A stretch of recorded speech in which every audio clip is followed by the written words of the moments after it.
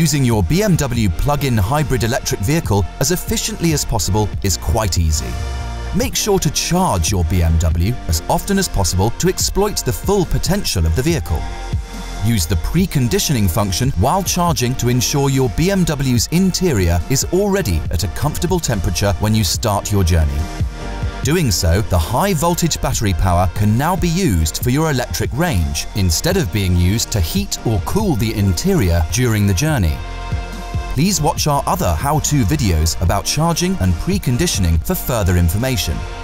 In plug-in hybrid electric vehicles with operating system 7, the most efficient way of driving is in Hybrid Eco Pro mode.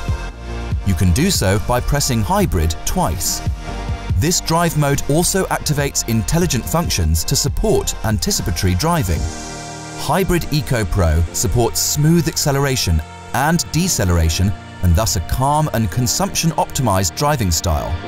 The route ahead assistant indicates when to release the accelerator with a blue foot symbol in the instrument cluster. This can be for speed limit reductions ahead or when approaching junctions, roundabouts or town entrances.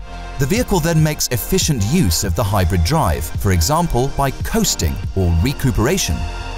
While recuperating, electric energy is used to recharge the high voltage battery.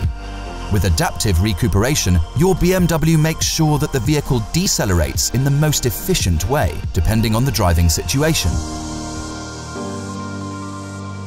Continue watching our how-to series to get the most out of your BMW.